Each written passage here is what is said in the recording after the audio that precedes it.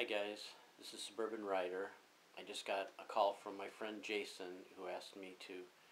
come on and uh, let people know about this. I know as motorcyclists uh, we share each other's joys, but we also share each other's sorrows. Jason,